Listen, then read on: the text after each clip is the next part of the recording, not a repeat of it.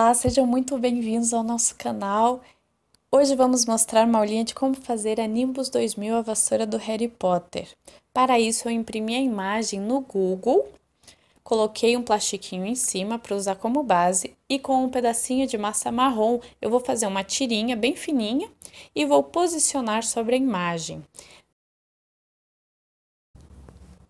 Desta forma, vamos copiar cada dobrinha da vassoura.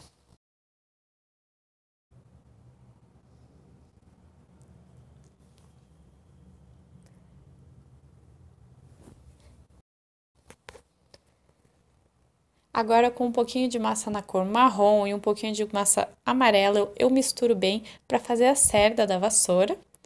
Então, eu vou pressionar e tentar copiar o formato.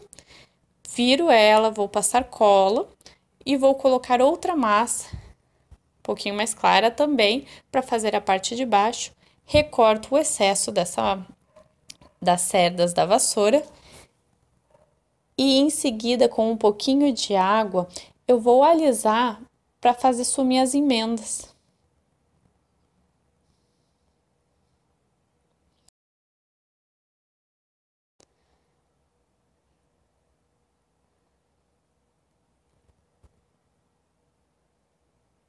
Depois de deixar bem lisinho, com uma estequinha eu vou desenhar as cerdas.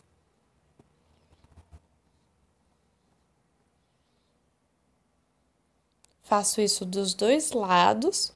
E agora eu vou sombrear com giz pastel.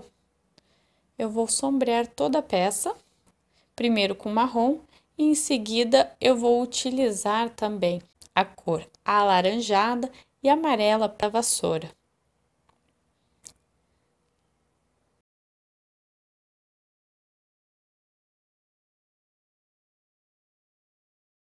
Com um pouquinho de pouquinho de tinta na cor dourada, eu vou fazer as linhas copiando aquela amarração das cerdas da vassoura.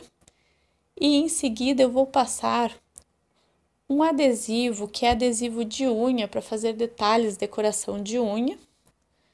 Que ela, na cor dourada, eu acho que ela vai ficar muito boa para fazer o acabamento. E com uma caneta marrom, eu vou fazer o contorno para ela ficar mais definida. Fiz também a inscrição do Nimbus 2000 na pontinha, só para deixar mais parecido. Eu achei bem fácil de fazer, eu gostaria de saber a opinião de vocês, o que, que vocês acharam, se gostaram do tema, se querem outros temas para os próximos vídeos.